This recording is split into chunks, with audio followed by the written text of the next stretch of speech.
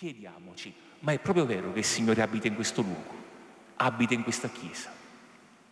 Eppure noi lo vediamo, teniamo i segni, c'è il conopeo lì, c'è la lampada e questo ci richiamano, ci rimandano la presenza reale di Gesù, lì nel sacramento. Vivo e vero, notte e giorno ci insegnavano una volta. C'era una bella preghiera che diceva così, Signore, perché non sono io quella lampada che arde giorno e notte davanti a te? Il fedele questo diceva, no? Questa, Signore, perché non posso essere pure io come quella lampada, qui davanti a te giorno e notte? E io invece me ne devo poi andare così, non posso stare giorno e notte davanti a te. E allora la consapevolezza di quello che facciamo e di perché poi lo facciamo, quindi di vivere la celebrazione, vivere della celebrazione. Va bene. Eh, le celebrazioni in generale, le celebrazioni, quelle eucaristica in modo particolare, ma quelle tutte eh, vedete, sono il nostro modo di potersi, poterci inserire nel mistero di Cristo. Perché ogni celebrazione ci rende presente questo mistero di Cristo. Noi partecipando alla celebrazione ci inseriamo in questo mistero. Inserimento che è già successo nel giorno del battesimo. Noi siamo già inseriti nel Signore. Però attraverso le celebrazioni, vedete, noi scopriamo di volta in volta, direi di giorno in giorno, in base a quello che noi stiamo vivendo in quel momento particolare della nostra vita, qual è il nostro posto nel corpo mistico di Cristo. Eh, la mano deve sapere che funzione deve svolgere all'interno del corpo per essere mano. Adesso sto mantenendo con la mano il microfono e quindi lo devo fare con la mano, non lo posso fare con il piede. Così anch'io attraverso la celebrazione scopro di volta in volta in base a quello che sono. E vedete che oggi sarà diverso da domani e oggi è diverso da ieri. Quindi la celebrazione mi situa il riferimento a Gesù Cristo e il riferimento agli altri. Ricordate sempre il numero due di Sacrosanto Concilio la volta scorsa, quando diceva così, perché quelli che partecipano alla celebrazione sono rafforzati e diventano nello stesso tempo modello per quelli che stanno fuori. E quindi noi attraverso la celebrazione ci situiamo anche in rapporto a quelli che stanno fuori e siamo la Chiesa. Più ci inseriamo in Gesù Cristo, più riscopriamo che la nostra vocazione è proprio questa, appunto essere questa Chiesa. Allora capite come la cosa importante non è fare delle cose, ma comprendere perché noi facciamo queste cose. E vedete che la Chiesa, eh, in un certo modo, questo lavoro l'ha fatto con la Bibbia. Se un po' ricordate, prima eh, incontri sulla parola di Dio, incontri biblici, eh, non si facevano tanto. Ricordate che prima della riforma la messa era in latino, pure le letture erano in latino. E, poi grazie a Dio c'è stata questa riforma che è uno dei tesori proprio che ci ha aperto la parola di Dio nella lingua che tutti la possiamo comprendere. Però vedete, la Chiesa cosa ha fatto? Non si è limitata a dire ascoltiamolo durante la messa. Eh, ha fatto sì che nelle nostre mani la Bibbia veramente noi la potessimo toccare, la potessimo leggere, dandoci anche degli strumenti per poterla comprendere nei gruppi di biblici, nei gruppi di preghiera oppure semplicemente anche a casa nostra con dei sussidi che noi possiamo avere. Con la liturgia non è stato fatto così però, anche con la messa non è stato fatto così, vedete? Che è successo? Che noi abbiamo tradotto la messa dal latino all'italiano, però i riti, così come quelli che compongono la messa, non li abbiamo spiegati e non li capiamo. Continuiamo a fare i riti, ci battiamo il petto, ci facciamo il della croce, ci mettiamo in ginocchio, facciamo l'inchino, però se dovessimo chiederci che cosa significano tutto questo, non lo sappiamo, però continuiamo a farli. E voi sapete che quando noi facciamo un gesto senza competere nel significato, quel gesto è vuoto. Eh, ricordate, lo dicevamo nei esempi la volta scorsa, io posso dire a una persona ti voglio bene, ma lo posso dire a chiacchiere, senza la pienezza del cuore in quello che sto dicendo. E questo è un formalismo. Sì, è vero, la parola che dico ti voglio bene è esatta a livello grammaticale, però è vuota di significato, è vuota di senso. allora noi invece che vuol dire ti voglio bene, poi deve corrispondere a che cosa? Che io poi veramente con la mia vita ti dimostro questo bene. E quindi fino a che punto poi ti voglio bene.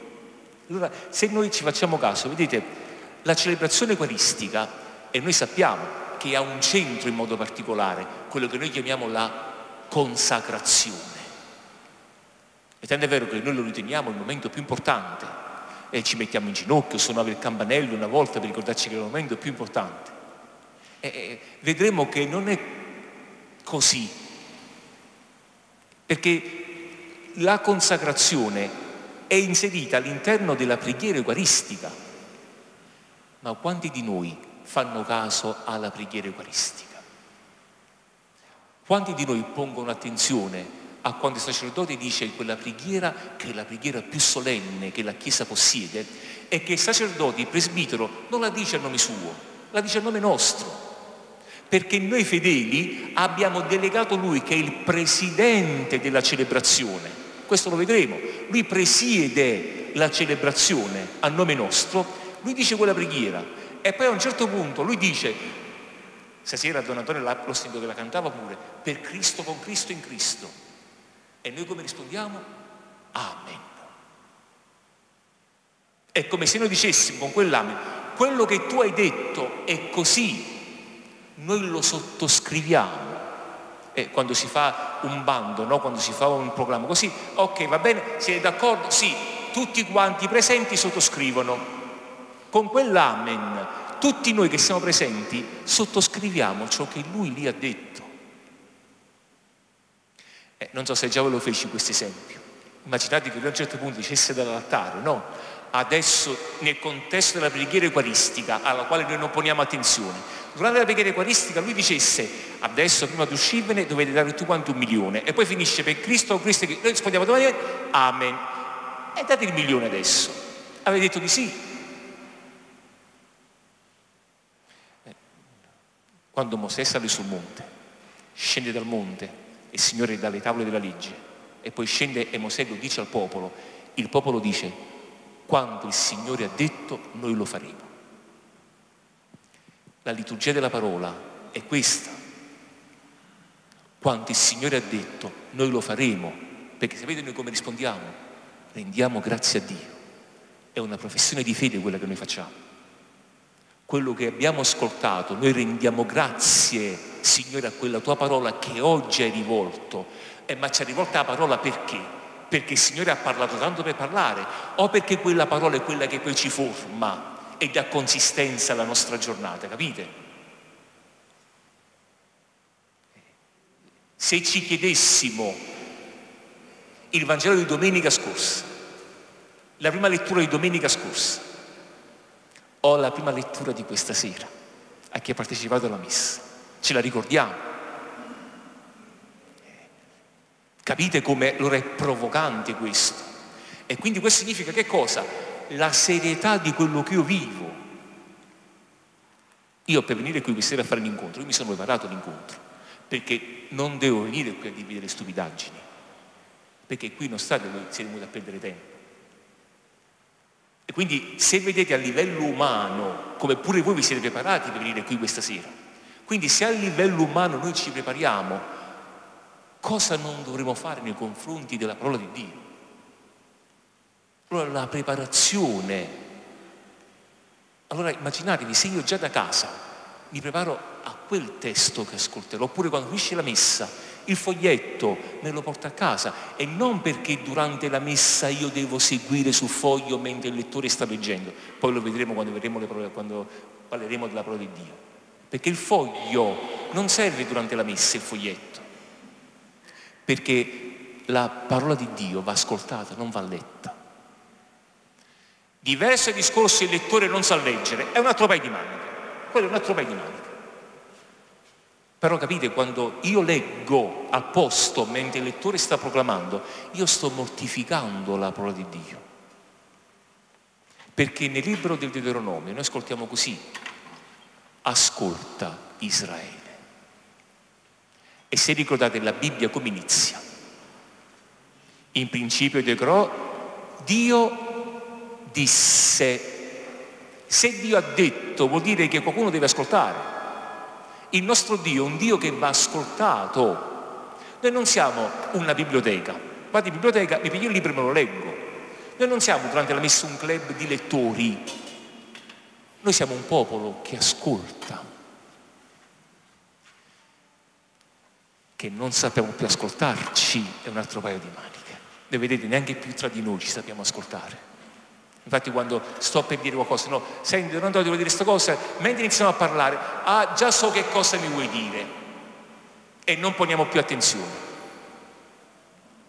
Sapete una volta che, non so se già ve l'ho detto, in seminario è successo. Durante la messa, la comunità che stava celebrando, uscì una lettura che era conosciutissima, il figlio prodigo, tutti quanti la conosciamo. Sapete durante la lettura il sacerdote che cosa disse mentre stava leggendo? Mentre il diacono leggeva, il sacerdote disse, la conosciamo, vai avanti. Capite? Questo è il rischio, che già la conosciamo. Già sappiamo come va a finire e io quando già so come va a finire io non pongo più attenzione, capite? Quindi non c'è più la tensione, già so come va a finire. Invece noi dovremmo rapportarci alla parola di Dio alla celebrazione come se fosse la prima volta. E ritornare in un certo qual modo anche all'emozione della prima volta.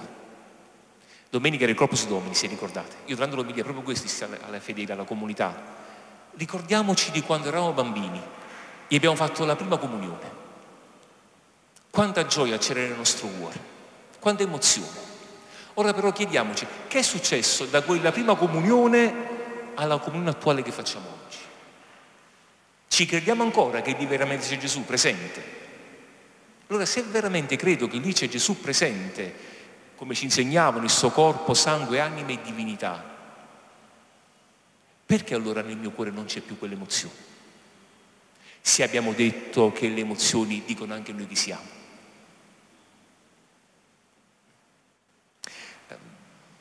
Allora per capire questa importanza della celebrazione eucaristica eh, non lo facciamo adesso perché come tempo non lo teniamo, eh, a Dio piacendo, eh, se voi sarete presenti e se Don Ernesto mi richiamerà, questo è il percorso che faremo poi con l'anno pastorale nuovo, noi vedremo proprio la preghiera eucaristica.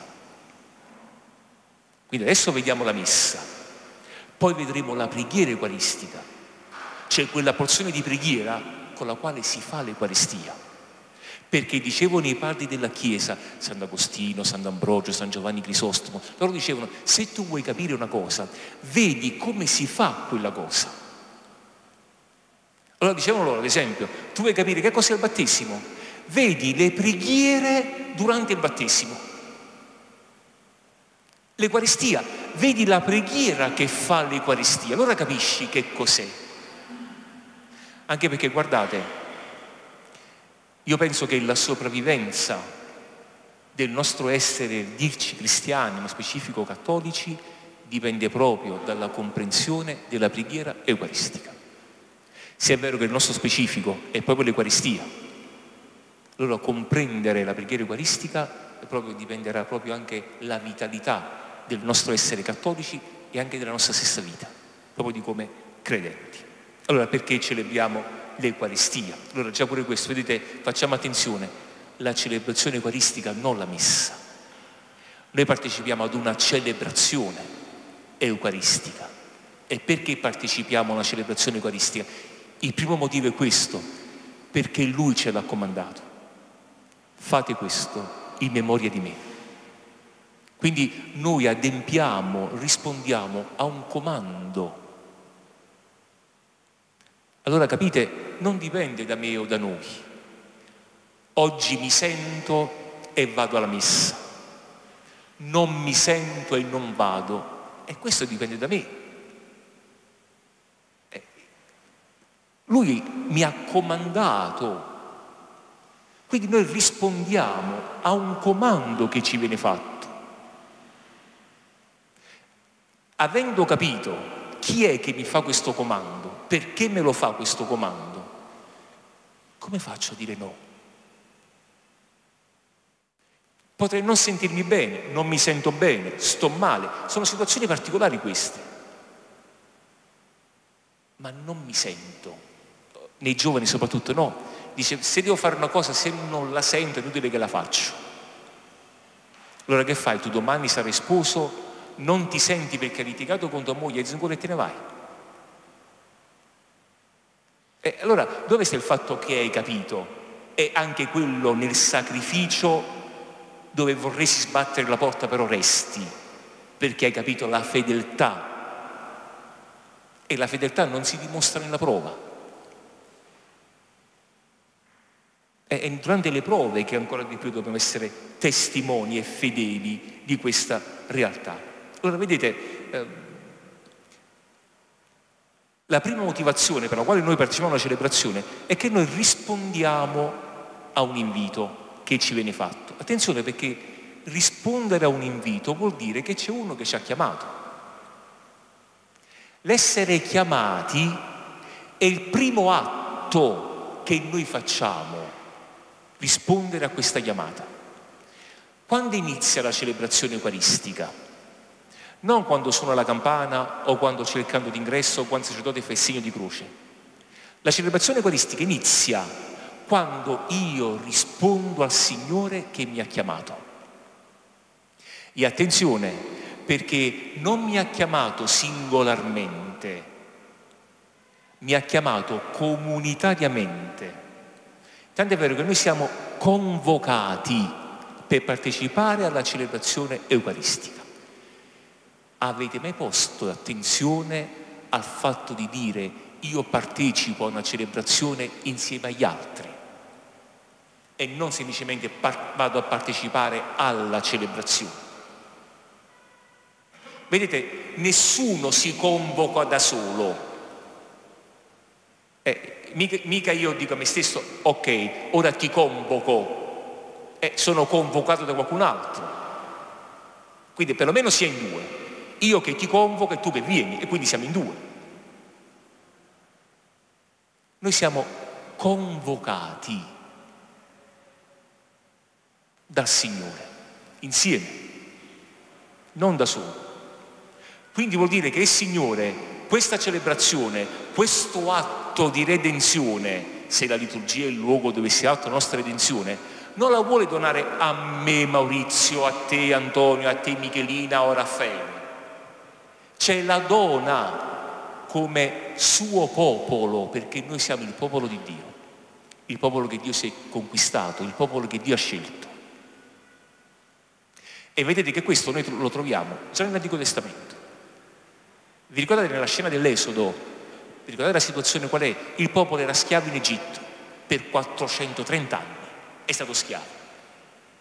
Però quando il Signore poi chiama Mosè, dice vicino a Mosè, Mosè, io ho visto ho sentito il lamento del mio popolo, ho visto che il mio popolo è ridotto a schiavitù. Ora va perché io ti mando dal mio popolo e tu dirai al mio popolo, eccetera, eccetera, così. Perciò io farò uscire il mio popolo perché venga su questo monte e mi serva. Attenzione perché questo è importante, vede ancora una volta, chi è che agisce, prende l'iniziativa? È Dio. Dio ha detto io ho visto, io ho sentito, io ho deciso di scendere per liberare il mio popolo. Però lo fa come? Attraverso chi? Lo fa lui stesso? No, tramite Mosè. Perché, durante le volte scorse, la mediazione sensibile, perché Dio non lo vediamo, Dio non lo sappiamo. Allora ecco, si serve di Mosè che il popolo vede. Però il popolo è scelto e chiamato da Dio e liberato da Dio affinché il popolo arrivi nella terra promessa sul monte e monte e serva il Signore. Quindi la chiamata è per un servizio. Il Signore ci libera, ci chiama, però noi rispondiamo a questo invito il mio popolo per rendergli servizio.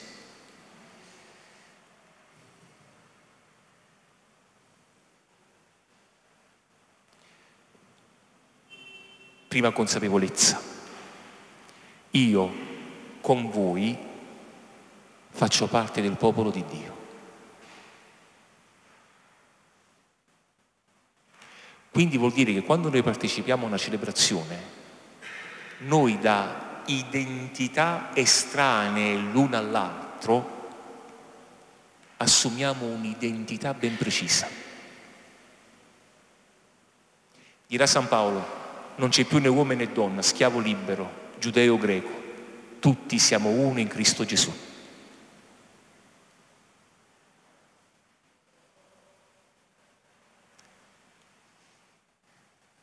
Non è bello questo, sapete perché? Perché se io Don Antonio non lo sopporto, io partecipo, chiamato a partecipare insieme a Don Antonio, io con Don Antonio formo questo corpo. Capite? Come il primo dramma è proprio questo. E io non posso dire, vabbè, Don Antonio sta qui e io mi metto in fondo alla chiesa, così non lo vedo proprio. Posso anche non vederlo, però se lui sta qui e io sto lì e abbiamo risposto alla chiamata del Signore, come faccio a dire non lo sopporto proprio e non lo voglio neanche vedere? Se con lui io formo un solo corpo. E lo formo non perché per una mia iniziativa, ma per quello che sono chiamato da lui a essere. Abbiamo detto prima, vivo della celebrazione perché se la celebrazione è questo, rispondo a una chiamata e sono convocato, siamo convocati per formare il suo popolo, quindi il corpo di Cristo, come dirà San Paolo, San Paolo dice, nessuno ha i nodi del proprio corpo. Sapete, quando ero ragazzo avevo un dramma, avevo le orecchie a sventolo, pure adesso ce l'ho, però da bambino si vedevano un poco di più e non mi piaceva. Mi facevo crescere un po' i capelli perché mi copriva, almeno potesse coprire alcune delle orecchie e le avrei cambiate, tranquillamente le avrei cambiate. E quindi in certi momenti non mi piacevo. E poi ho dovuto lavorare per accettarmi su questo. E nessuno prende i nodi del proprio corpo, dice San Paolo, e ma ci devi arrivare però a non odiarti. Ecco perché Gesù ha detto ama il prossimo tuo come te stesso, perché se non ami te stesso non puoi amare gli altri. E immaginatevi poi se effettivamente con una persona dove c'è stata una scortesia e chi non ha fatto così e poi eh, succedono queste cose tra di noi, lo sappiamo, ci sono a livello umano queste cose. E come supero per questa cosa, questa realtà, come vado oltre? Ricordate poi nel Vangelo abbiamo quasi un altro brano simile dove Gesù, prima di celebrare la sua Pasqua, dice una cosa ai suoi discepoli ho desiderato ardentemente mangiare questa Pasqua con voi. E dalle indicazioni eh, di dove troveranno la sala per mangiare e preparare la Pasqua. Però qui vedete, chi è che dice ho desiderato? Gli apostoli o lui? È lui. Quindi è un desiderio suo di celebrare questa Pasqua con voi, perché per gli apostoli quella Pasqua sarebbe stata una Pasqua uguale alle altre Pasque, perché celebrano la Pasqua ogni anno. Quindi ma in quella Pasqua particolare è Gesù che ha un desiderio particolare. È lui stesso dà l'indicazione agli apostoli. Gli apostoli cosa fanno? Rispondono alle proposte che fatto loro Gesù. Quindi la prima cosa, si risponde alla chiamata. Quindi la domenica noi stiamo qui in chiesa, non perché è domenica, perché va a venire a messa, perché Don Ernesto altrimenti poi ci rimprova, cioè la testa dice così, e eh, niente, già visto domenica a messa. No, veniamo qui a messa perché rispondiamo a una chiamata che ci ha fatto il Signore. Allora voi capite pure come dovremmo avvertire eh, il fatto che qualcuno sia assente. Perché se il popolo insieme che è convocato, l'assenza di uno mi dovrebbe pesare, cioè io dovrei avvertire quell'assenza. Dice, ma io poi non sono venuto a messa, che succede? Sinceramente, guardate, io non lo so che succede se uno non viene a messa, se fa peccato o non fa peccato. Quello che potete dire è una cosa, hai mancato un appuntamento, ti sei privato di qualcosa, questo è il peccato non che vai all'inferno perché non sei venuto a messa, ma c'è stata questa grazia e l'hai mancata. E io che ho capito questa grazia, mi dispiace che tu ti sei privato di questo.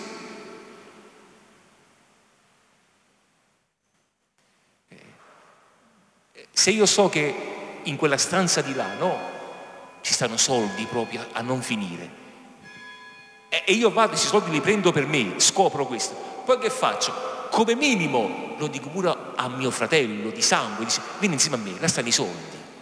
È una cosa buona, no? La dico anche a mio fratello. Una volta che me ne sono preso per me in abbondanza, la voglio dire pure a mio fratello, ci sono per me e per lui. E lo dico anche a un altro mio fratello. E se voi dici così, ma non vengo, ma come si scende? Vedi, ti perdi qualcosa di importante, saranno tanti soldi, li perdi. E io dovrei avvertire che lui, mio fratello, questi soldi li sta perdendo. Certo, non lo posso costringere, vieni a piedi i soldi, questo no. Tanto è vero che si legge nelle norme, dice così le indicazioni. Quando il popolo è radunato, mentre il sacerdote fa il suo ingresso con il diacono e i ministri, si inizia il canto d'ingresso. Quando il popolo è radunato, si inizia il canto d'ingresso. Quindi quando inizia questo? Quando c'è il popolo inizia il canto e il sacerdote esce.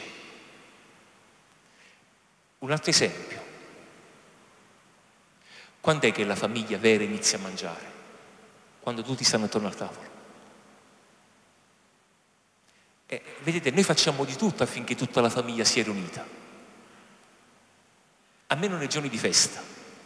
Tutta la famiglia si riunisce lì, iniziamo a mangiare. Eh, ma se inizia a mangiare il primo, poi dopo un quarto d'ora arriva lui e poi lui mangia il secondo, lui mangia l'antipasto. È, è una casa scombinata. Perché questo lo permettiamo durante la messa? O meglio, perché siamo arrivati a questo durante la messa? Per quel discorso di prima. Oppure quella famosissima domanda eh, che spero non mi farete, quando vale la messa? Se arrivo dopo le letture, vale la messa? Non mi fate questa domanda, per favore. Perché se dobbiamo misurare il valore della messa da quando arrivo, non abbiamo capito niente. E mi verrebbe da dire, con tutto il rispetto, se non vieni a messa vale se non vieni, la messa vale. Perché se il tuo problema è a che ora venire a messa e lo sai che la messa sta alle 10, quindi perché mi dice quando vale la messa? Se sai che la messa sta alle 10. Evidentemente credo opportuno fare un'altra cosa più importante. Gli imprevisti sono un'altra cosa. Gli imprevisti. Però fateci caso, che generalmente si fa tardi chi ordinariamente fa tardi. Quindi se la messa è alle 10 e io arrivo alle 10 e un quarto, se spostiamo la messa alle 10 e mezzo, io arrivo alle 11 meno un quarto, perché è cronico il fatto di quel quarto d'ora che devo fare tardi. Non sta da fare niente. Questo che significa allora? Significa che quello che c'è prima della messa, eh, eh, che fa? L'importante però è che arrivo prima che si aggira la pagina del Vangelo. Salvo del Vangelo. Quindi vuol dire che i riti d'ingresso, la prima lettura, la seconda lettura, c'è o non c'è la stessa cosa? No, no, no, non è la stessa cosa, c'è o non c'è. Perché se ci sono vuol dire che c'è, c'è, c'è, c'è ha un'importanza, un significato se ci sono, altrimenti non ci sarebbe. Allora ecco che dice Sacrosandum Concilium al numero 56 che la celebrazione eucaristica è costituita da queste due parti, liturgia della parola e liturgia eucaristica. Questi due atti formano un solo atto di culto, quello che noi chiamiamo messa. Quindi liturgia della parola, liturgia eucaristica formano un solo atto di culto, la liturgia eucaristica. Poi dice che alla liturgia della parola ci sono dei riti di introduzione, liturgia eucaristica e dei riti di conclusione.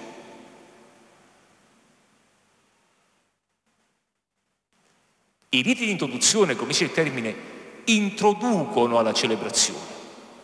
E attenzione perché sono importanti, perché noi dobbiamo sempre introdurci in qualcosa. Nelle nostre case prima che cosa c'era? C'era l'ingresso, la porta, l'ingresso, poi la cucina. Ma adesso eh, il termine dice open space, lo spazio aperto. Quindi tu apri la porta e già entri, cucina, camera soggiorno, così. Meno male che ancora sono risparate le camere da letto. E così la Chiesa, quando noi entriamo in Chiesa, non entriamo direttamente in Chiesa. C'è il bussolone là sotto. E vedete che cosa succede? Che mi aiuta a fare una differenza di spazio tra quello che sta fuori e quello che sta dentro.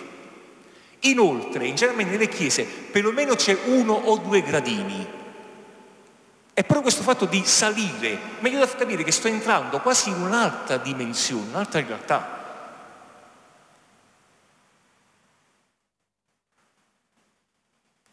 Io busso alla porta, sotto la porta io vengo accolto. Ciao, tutto bene? Sì, accomodati, vengo portato dentro.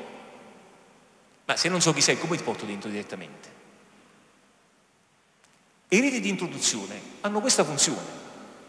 Ci aiutano a farci passare da una situazione di dispersione, di individualità a una di comunione.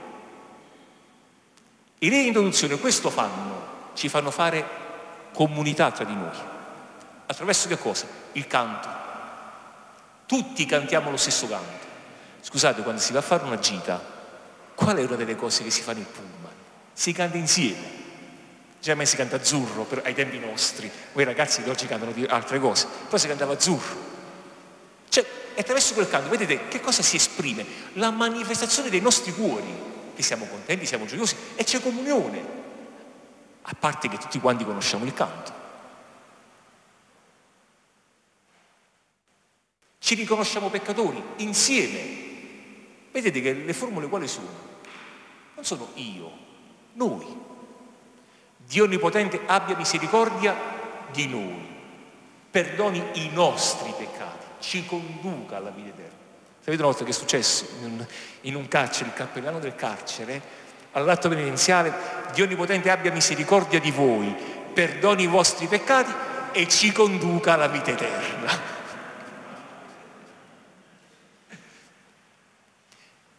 Pure qui, e vedete noi che cosa diciamo? Confesso a Dio e a voi fratelli che ho molto peccato e quindi io lo confesso a te, a te, a te, a te. Poi fateci caso una cosa però, se poi qualcuno mi dice tu sei peccatore e come ti permetti? Cioè, prima ho detto, io l'ho detto io che confesso che ho sbagliato, l'ho detto a te che ho sbagliato, poi tu me lo vieni a dire, dico come ti permetti? Allora lo dico o non lo dico? Lo dico col cuore o solo perché lo devo dire perché è scritto sul foglietto?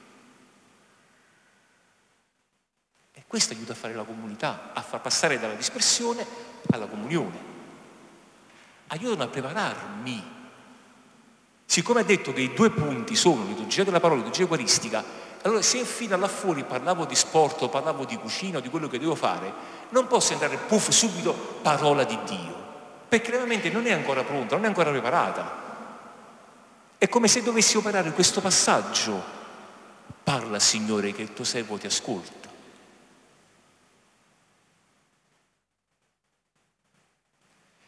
Noi entriamo in chiesa, facciamo un gesto mettiamo la mano nell'acqua santa, nell'acqua santiera. Sono belle quelle acque santiere che sono qui, no? Non sono nascoste da un lato, per cui si entra, si vede. Non è quello poi sarà perché è di lato me la so, posso dimenticare. È importante quel gesto, sapete? Perché quel gesto ci ricorda che cosa prima di tutto? Ci ricorda il nostro battesimo. E se noi possiamo andare in chiesa e celebrare l'Eucaristia perché siamo debattizzati, e il battesimo ci ricorda che cosa? Che siamo stati lavati dal peccato, e avete mai provato a pensare una cosa?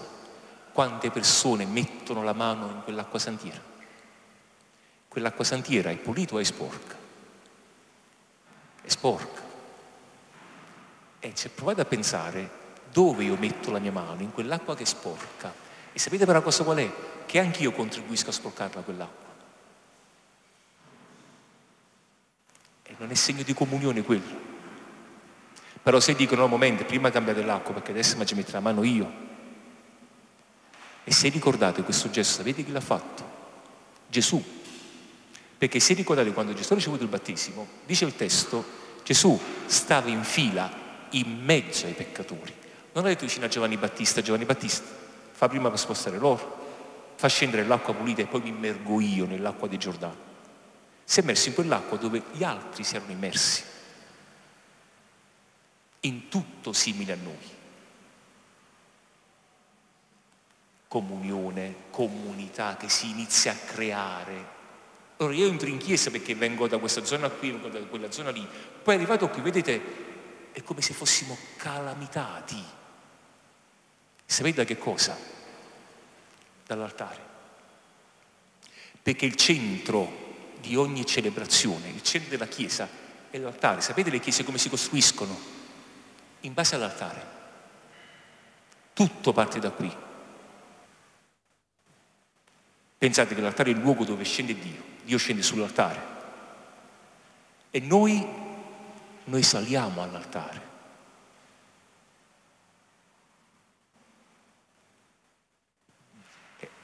E noi ci riuniamo attorno all'altare. Vedete che è bello questo. Il posto ideale dell'altare dovrebbe essere qui, allo stato della tavola adesso, vedete? Qui, qui allora sì, è il senso di quella comunità che si riunisce attorno all'altare. Allora voi capite che riunendomi attorno all'altare, noi guardiamo tutti quanti lì, Allora a un certo punto, se io guardo tutto lì, non guardo più se alto e basso, eh, se è bello e meno bello, se è peccatore o meno peccatore. Guardo che come è stata fatta grazia a me, è stata fatta grazia pure all'altro. E intanto la grazia arriverà a me perché arriva anche e passa attraverso l'altro. E guardate che il Signore ci chiama, stiamo nell'idea di introduzione, ci chiama dopo tutto quello che noi abbiamo fatto in questa settimana, dove abbiamo sperimentato la nostra gioia, però abbiamo sperimentato pure quanto è pesante. Abbiamo sperimentato anche di essere peccatori. E il Signore ha detto Maurizio vieni, Andrea vieni, Antonella vieni. Vieni insieme a Maurizio, vieni insieme a te che è peccatore come te, ma cammina verso la santità come te. Allora voi capite che se io cammino insieme che succede? Che se sto per cadere, se cammino insieme, se sto per cadere, non cado perché sta chi sta a fianco a me mi appoggia, mi mantiene, mi sostiene, ma se a fianco a me non ci sta nessuno, sapete che succede? Io cado. Allora chiediamoci, non è che qualche volta vorrei la caduta del fratello e non piuttosto il sostenere il fratello.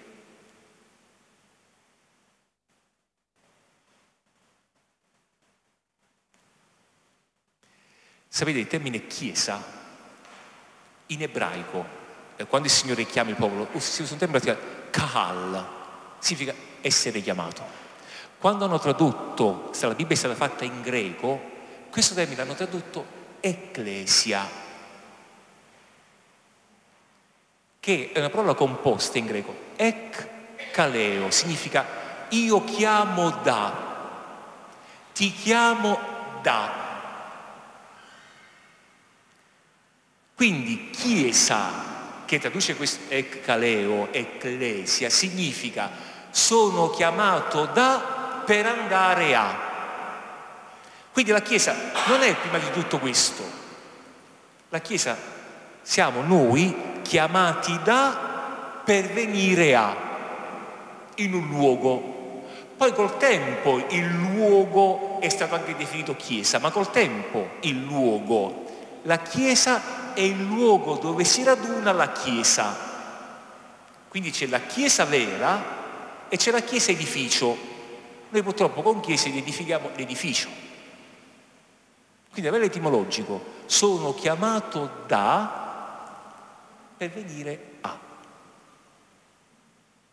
Allora, l'acqua santiera, il canto d'ingresso. Il canto d'ingresso ho detto già, questa funzione è molto importante, da inizio alla celebrazione eh, aiuta a favorire la concordia tra i fedeli.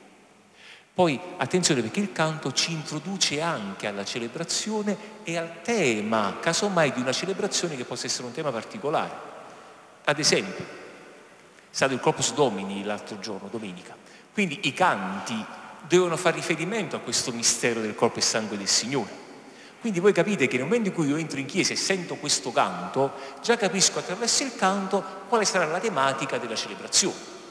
Però se è la celebrazione del Corpus Domini e mette a cantare Madre Santa del Creatore, l'ora che pia, eh, io sono un po' confuso, perché, ah, perché cosa dico? È una celebrazione in onore della Madonna. Poi vai a vedere invece il Corpus Domini. Allora, qual è il messaggio che stiamo lanciando? Qual è il messaggio che deve passare? E quindi anche la funzione poi del canto. Vedete che poi c'è un'altra cosa bella che noi facciamo, generalmente nelle celebrazioni solenni c'è la processione d'ingresso. È molto bella la processione d'ingresso, perché vedete, nel sacerdote e nei ministri che vanno verso l'altare, che è Cristo, l'altare è Cristo. Eh, sapete che in una chiesa il posto d'onore chiaramente al tabernacolo, Gesù presenta nel tabernacolo. Dopo il tabernacolo, sapete l'altro posto? I, I, segni di venerazione di più dove vanno? Vanno all'altare. E generalmente il segno di venerazione che si fa all'altare è l'inchino. È l'inchino profondo che noi facciamo così davanti all'altare. Questo inchino è un, è un segno di chi riconosce una presenza. Poi attenzione, perché l'altare viene consacrato. Sapete con che cosa? Viene consacrato con il sacro crisma. E se vi ricordate, quando noi abbiamo fatto la crisima, Sapete con quale olio siamo stati crismati? Ditelo, ditelo. Con lo stesso olio. E quindi si diceva una volta che con la crisma noi diventiamo perfetti cristiani. Il crisma, lo stesso olio che ci ha resi perfetti cristiani, è lo stesso olio che viene dedicato all'altare. E vedete che sull'altare, giorno della dedicazione, si usa l'incenso, si mettono i fiori, le candele, tutto quello che poi troviamo ordinariamente durante la messa domenicale, e indica proprio questa presenza, è di questo luogo che diventa proprio focale tra il cielo e la terra. Allora, il rispetto che noi dobbiamo all'altare, la venerazione all'altare. Quindi quando entriamo in chiesa e facciamo la genuflessione, bene, poi quando passiamo davanti all'altare impariamo anche noi tutti quanti, facciamo l'inchino, cioè, però capite, pure qui devo riconoscere che è segno di Cristo, perché poi lo vedremo, è segno di Cristo in quanto ara del sacrificio e in quanto mensa del convito eucaristico. Addirittura voi, se ci fate caso, ricordate il venerdì santo, quando l'altare è spoglio, il sacerdote davanti all'altare fa una cosa che fa solo il venerdì santo, si prostra davanti all'altare, si mette prostrato. Allora, impariamo a venerare l'altare con questi segni di grazia. Il sacerdote poi addirittura la bacia all'inizio e alla fine della celebrazione eucaristica. Ed è bello, è, è come se fosse il bacio eh, dello, della sposa, la Chiesa, che bacia lo sposo che è Gesù Cristo. E il sacerdote che bacia, chiaramente il presidente, c'è tutta la Chiesa. E lui quindi che bacia lo sposo Gesù Cristo per dire questa comunione profonda tra la, la, la celebrazione liturgica che sta lì per farsi. Poi c'è l'atto penitenziale. Attenzione all'atto penitenziale perché noi, Signore pietà, Cristo pietà, Signore pietà, noi lo viviamo in, in modo pietistico l'atto penitenziale. Signore ho peccato, perdonami. Non è questo il senso dell'atto penitenziale. Perché l'atto penitenziale, con una formula che noi la teniamo anche in latino, però quella in greco, Kyrie eleison. Il Kyrie è l'implorazione, l'invocazione che veniva rivolta nei confronti dell'imperatore. Quindi il Signore, l'imperatore, l'onnipotente, che l'imperatore poteva tutto. E quindi il romano chiamava l'imperatore Kyrie. Quando il cristiano chiama il suo Signore Kyrie, lo riconosce come l'onnipotente. E quindi quando noi diciamo Signore pietà, no Signore sono peccatore. No Signore, io ti riconosco come quello che tutto puoi. Conosci la mia fragilità, la mia debolezza e usa verso di me la tua misericordia. Quindi è un'acclamazione. E l'acclamazione non si fa così, si acclama. Parola di Dio, quella è un'acclamazione. E noi rispondiamo, rendiamo grazie a Dio. No, rendiamo grazie a Dio. Quindi, Signore pietà. Ricordate il cerco di Gerico? Gesù, figlio di Davide, abbi pietà di me e gridava, come si grida, lo ripeto, verso la, l'autorità.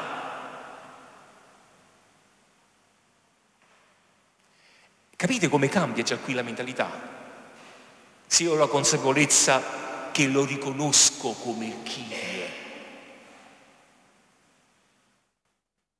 Fate attenzione perché la celebrazione eucaristica non predilige molto gli atteggiamenti penitenziali. Perché per i atteggiamenti penitenziali abbiamo un'altra cosa, il sacramento della confessione. Lì ci mettiamo in ginocchio anche, ci battiamo il petto. Oppure battiamoci il petto, lo confesso a Dio Onnipotente, noi facciamo, ho peccato in pensieri, parole, ho peccato, ho peccato e ci battiamo tre volte il petto. E dove sta scritto che tre volte bisogna battersi il petto?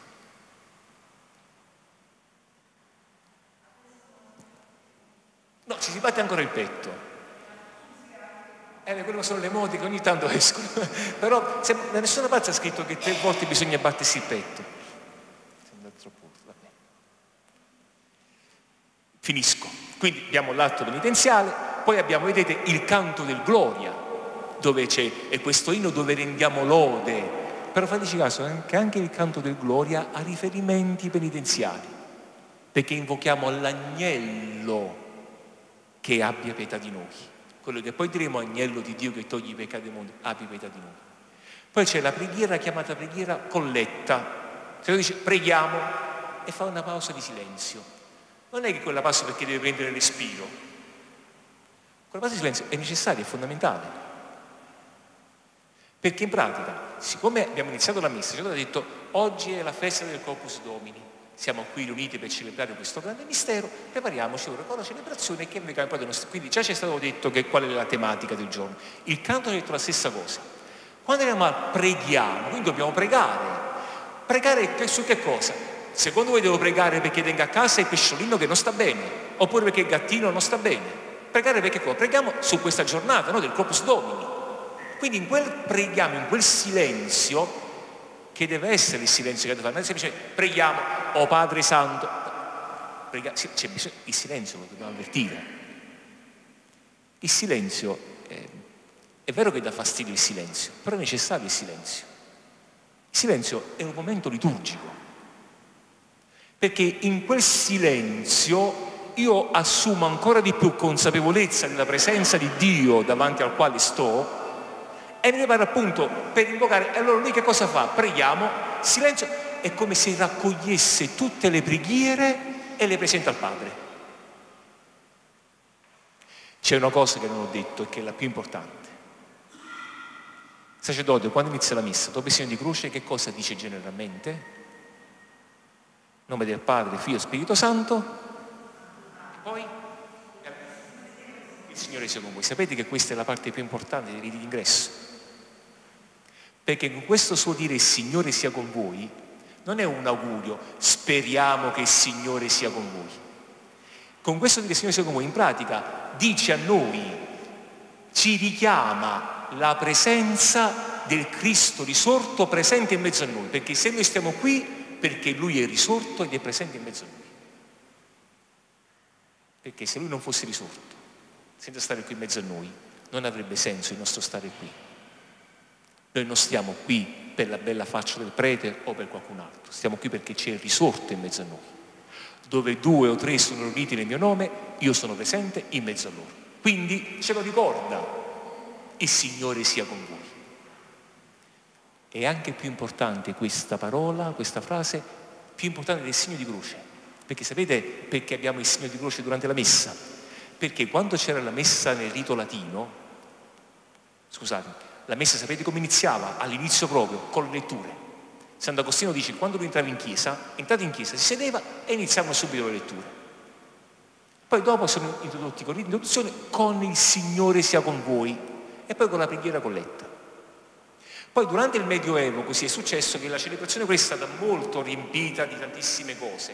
Il sacerdote, quando entrava, che un poco più anziano se lo ricorda, entrava in chiesa, arrivato qua ai piedi dell'altare, diceva le sue preghiere personali e le iniziava con il segno di croce, però era una sua preghiera personale perché i fedeli facevano il rosario, non seguivano, non partecipavano e quindi lui si faceva la sua preghiera ancora oggi.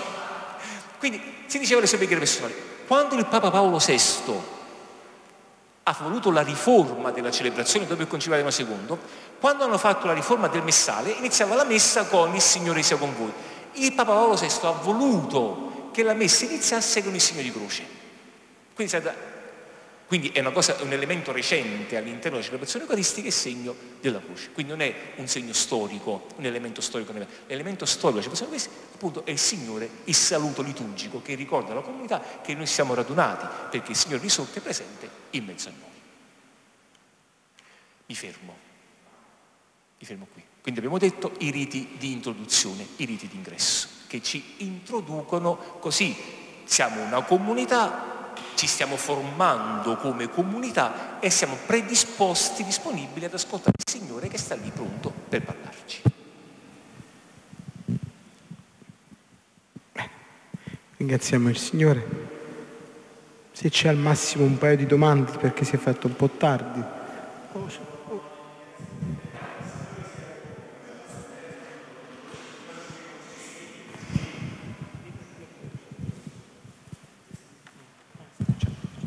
Oh, dicevo, quando eh, il celebrante dice il Signore sia con voi e l'assemblea risponde con il tuo spirito, il significato di questo... Con tuo spirito, sì, ha fatto bene a fare questa, questa domanda. In pratica l'assemblea dice, il sacerdote ci richiama alla presenza di Cristo e l'assemblea dice anche con il tuo spirito, a quale spirito fa riferimento? Allo spirito che il sacerdote ha ricevuto il giorno in cui è stato ordinato presbitero. Sappiamo che il sacerdote diventa presbitero, lo diventa grazie alla preghiera che il vescovo fa allo Spirito Santo, perché lo Spirito lo abilita, lo conforma a Gesù Cristo che presiede la sua comunità. Quindi è come se l'assemblea dicesse, è vero che tu dici a noi che il Signore è risorto in mezzo a noi presente, ma sia presente anche con te attraverso quello Spirito che quel giorno della tua ordinazione ti ha abilitato ad essere per noi segno di questa presenza di Cristo risorto. Quindi è come se fosse un richiamarsi a vicenda questa presenza all'assemblea appunto la presenza di Cristo e l'assemblea sacerdote attraverso la consapevolezza che ha ricevuto quello spirito il giorno della sua ordinazione che appunto gli fa porre questi gesti a nome di Cristo capo della sua comunità.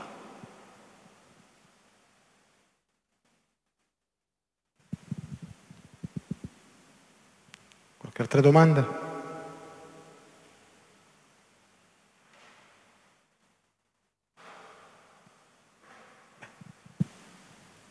Arcangelo non poteva mancare.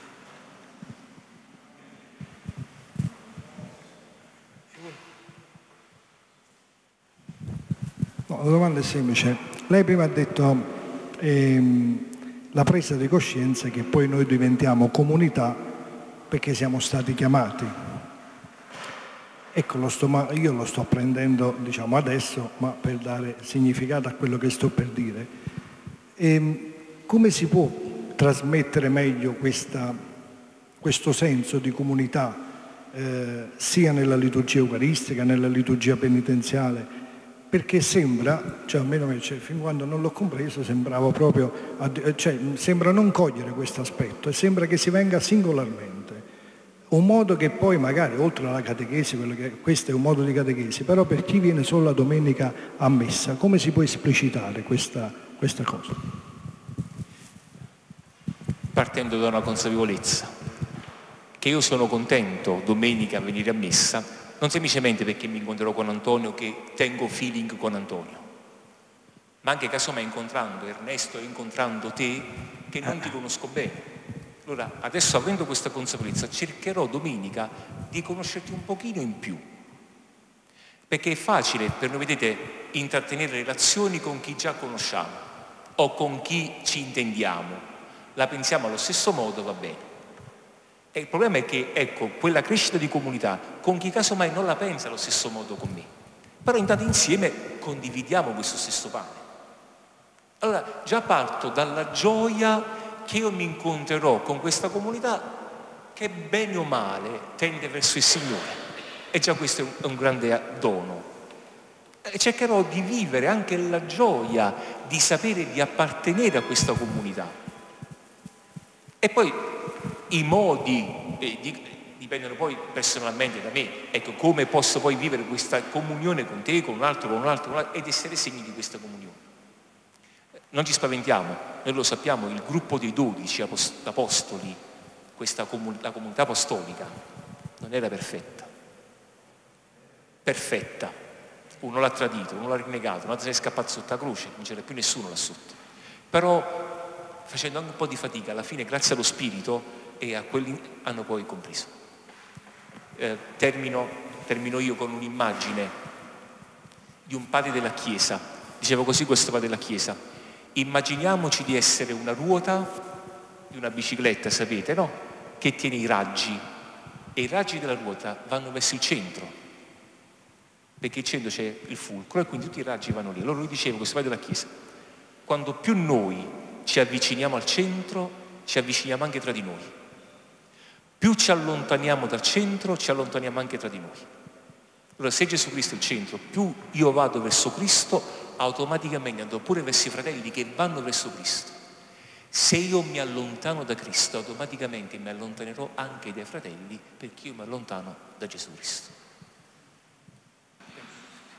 Volevo affidarvi un compito però, già che è l'unica volta che facciamo l'incontro subito poi per venerdì prossimo. Domenica prossima, partecipando alla celebrazione, eh, domenica prossima, venerdì prossimo faremo un incontro diverso, faremo le domande all'inizio non alla fine, però le farò io a voi le domande venerdì prossimo. Partecipando alla celebrazione, riuscite a cogliere ciò che abbiamo detto dell'incontro di questa sera. Cioè riuscite proprio, dice, magari poi diventa una cosa tecnica. No, io penso che potrebbe essere un'assunzione di consapevolezza in più che dobbiamo adesso mettere, come dire, no, ma sono andato a scuola, oggi fai il compito e devo verificare questo compito. Provate ecco a vedere se riuscite a cogliere, se non tutti i passaggi, perlomeno i vari passaggi, e che cosa se poi c'è stata una consapevolezza maggiore oppure è stata poi la stessa cosa. E così ci verifichiamo un poco su questo. e ringraziamo il Signore. E quindi sarà un momento di verifica su questo. Bene, facciamo un'Ave Maria alla Madonna, ecco che ci ha accompagnato per tutti i sacerdoti, eh, in particolar modo ecco, per tanti sacerdoti che si prodigano proprio per far capire la bellezza della liturgia eucaristica, della liturgia della Chiesa. Ave Maria, piena di grazia, il Signore è con te tu sei benedetta fra le donne e benedetto il frutto del tuo seno, Gesù. Santa Maria, Madre di Dio, prega per noi peccatori, adesso e nell'ora della nostra morte. Nostra Signora di Casandrino, dolce cuore del mio Gesù, o dolce cuore di Maria, fai la benedizione. Il Signore sia con voi vi benedica Dio Onnipotente, Padre, Figlio e Spirito Santo. Benediciamo il Signore. Buona serata e grazie.